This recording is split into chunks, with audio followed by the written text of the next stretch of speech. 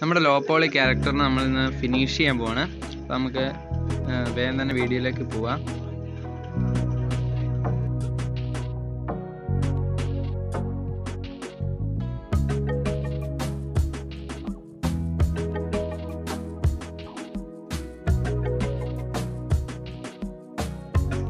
നമ്മുടെ ക്യാരക്ടറിന്റെ കഴുത്തിന്റെ അവിടെ ഇച്ചിരി ഇൻഓർഗാനിക് ആയിട്ട് തോന്നുന്നുണ്ട്. അപ്പോൾ അവിടെ കുറച്ച് ഞാൻ ലൂപ്പുകൾ അങ്ങോട്ടും ഇങ്ങോട്ടും ഒക്കെ നീക്കിയിട്ട് ഒന്ന് അറേഞ്ച് ചെയ്യാണ് ഇടയ്ക്ക് ഒരു കൺട്രോൾ ആർ ചെയ്തിട്ട് ഒരു ലൂപ്പും കൂടി ആഡ് ചെയ്യുകയാണ് എന്നിട്ട് അതെല്ലാം കൂടി അങ്ങോട്ടും ഇങ്ങോട്ടും ഒന്നൊക്കെ നോക്കി നീക്കിയിട്ട് കഴുത്തിന്റെ അവിടെ ഇച്ചിരി ഒന്ന് നാച്ചുറൽ ആക്കിയിട്ട് മാറ്റുവാണ്.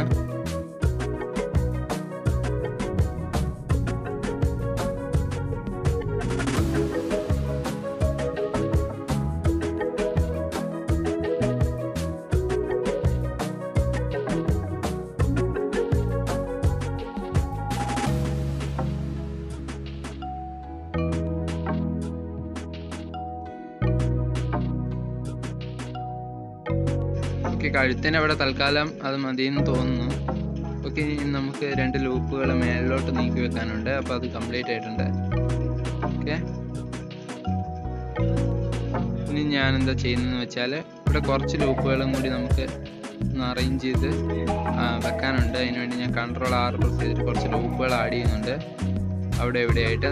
ലാസ്റ്റ് ഒരു ഫൈന ഫൈനലൈസേഷൻ അല്ലെങ്കിൽ ഫിനിഷിങ് ടച്ചിന് വേണ്ടി കുറച്ച് ലൂപ്പുകൾ അവിടെ ഇവിടെ ആഡ് ചെയ്തിട്ടൊന്ന് സ്കെയിൽ ഇതൊക്കെ വെക്കുവാണ്.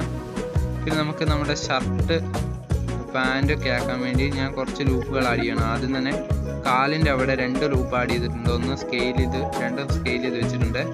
പിന്നെ നമുക്ക് നമ്മുടെ കഴുത്തിന്റെ അവിടെ ഒരു ലൂപ്പും കൂടി ആഡ് ചെയ്യണം. അപ്പോൾ അതിന് വേണ്ടിയിട്ട് ഞാൻ കൺട്രോൾ ആർ പ്രസ് ചെയ്തിട്ട് ഒരു ലൂപ്പ് ആഡ് ചെയ്തിട്ടുണ്ട്. അതിനുശേഷം ആ ഫേസ് ഓൾട്ട് പ്രസ് ചെയ്തിട്ട് ആ ലൂപ്പ് മൊത്തം സെലക്ട് ചെയ്തിട്ട് പുറത്തോട്ട് എക്സ്ട്രൂഡ് ചെയ്യാണ് അതിനുശേഷം ഒന്ന് സ്കെയിൽ ചെയ്യുവാണ്. ഓക്കെ ഞാൻ ജസ്റ്റ് ഒന്ന് മൂവ് ചെയ്ത് റെഡിയാക്കി വെക്കുവാണത്. അവിടെ കഴുത്തൊന്ന് റെഡിയാക്കി വെക്കുവാണ്.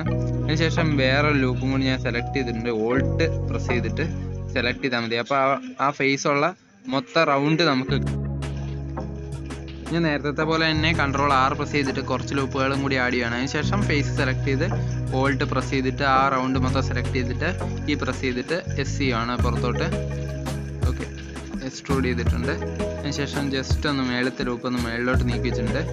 എല്ലാ സ്ഥലത്തും അതുപോലെ തന്നെ ജസ്റ്റ് ഒന്ന് നീക്കി വെക്കുകയാണ് എല്ലാ ലൂപ്പുകളും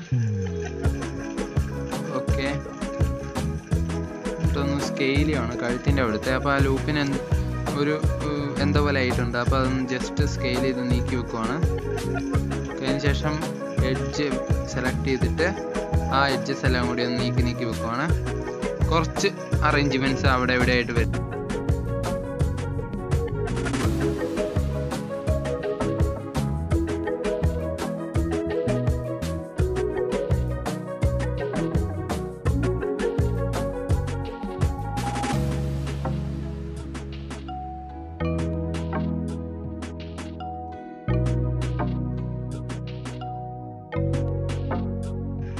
ഓക്കെ അത് മതിയെന്ന് തോന്നുന്നു. ഇനി ഞാനിത് നമ്മുടെ ഷർട്ടിനെല്ലാം കളർ ചെയ്യാൻ പോവാണ്. അപ്പോൾ അതിന് വേണ്ടിയിട്ട് ഞാൻ വയർ ഫ്രെയിം മോഡ് സെലക്ട് ചെയ്തിട്ട് എനിക്ക് വേണ്ട ലൂപ്പുകളെല്ലാം നേരത്തെ പോലെ തന്നെ ഓൾട്ട് പ്രസ് ചെയ്തിട്ട് സെലക്ട് ചെയ്യുകയാണ് ഓരോ ലൂപ്പുകളും. അതിനുശേഷം സി പ്രസ് ചെയ്തിട്ട് റൗണ്ട് സെലക്റ്റിലൂടെ ബാക്കിയുള്ള നമുക്ക് ഷർട്ടിന്റെ വേണ്ട ഫേസുകളെല്ലാം സെലക്ട് ചെയ്യുകയാണ് എല്ലാ ഫേസും സെലക്ട് ചെയ്തെന്ന് തോന്നുന്നു.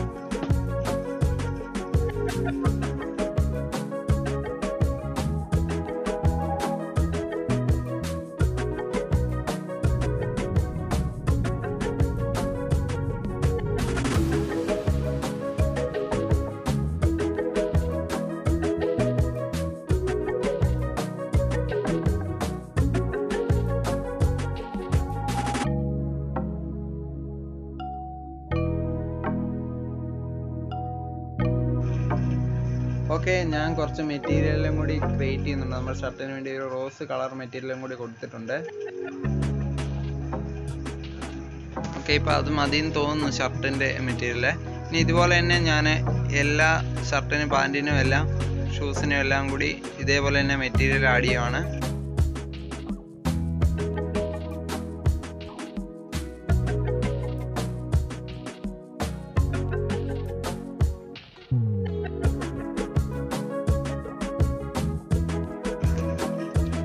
നേരത്തെ ഇതുപോലെ തന്നെ ഞാൻ പാന്റിന് വേണ്ട ഫേസുകളെല്ലാം കൂടി സെലക്ട് ചെയ്തിട്ടുണ്ട്.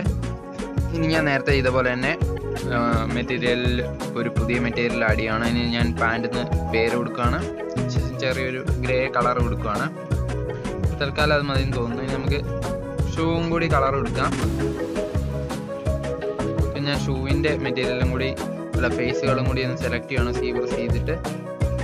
ഓക്കെ ഇനി ഞാനതിന് ഷൂ എന്ന് പറഞ്ഞിട്ട് ഒരു മെറ്റീരിയലും കൊടുത്തിട്ട് ഒരു ബ്രൗൺ കളർ കൊടുക്കുവാണ്. ഓക്കെ തൽക്കാലം നമ്മുടെ ക്യാരക്ടറിന് മതിയെന്ന് തോന്നുന്നു.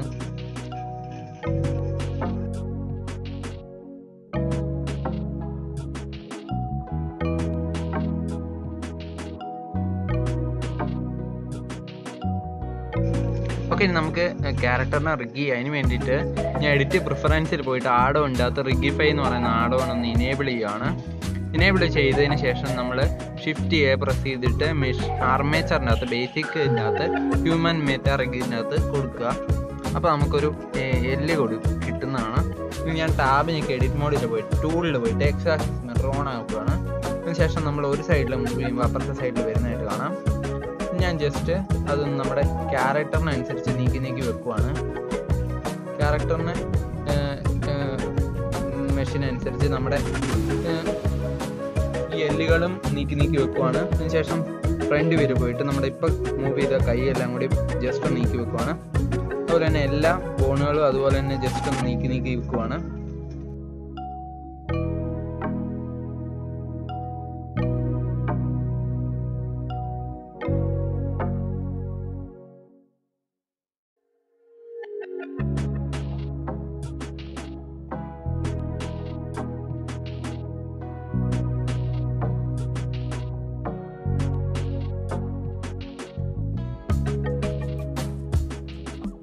ഓക്കെ നമ്മളിതെല്ലാം ചെയ്ത് കഴിയുമ്പോൾ നമുക്കിനി ഇൻ വ്യൂ ഫോർ ഡിസ്പ്ലേയിൽ പോയിട്ട് ഇൻ ഫ്രണ്ട് ഓൺ ആക്കി വെക്കാം നമ്മൾ എല്ലിനെ ഓക്കെ ഇനി ഞാൻ എന്താ ചെയ്യുന്നതെന്ന് വെച്ചാൽ ആദ്യം നമ്മുടെ ക്യാരക്ടർ മൊത്തത്തിൽ സെലക്ട് ചെയ്തിട്ട് പിന്നെ ഷിഫ്റ്റ് പ്രസ് ചെയ്തിട്ട് നമ്മുടെ ബോൺ സെലക്ട് ചെയ്തിട്ട് കൺട്രോൾ പി കൊടുത്തിട്ട് ഓൾട്ട് ഓട്ടോമാറ്റിക് വെയിറ്റ്സ് കൊടുക്കുവാണ്.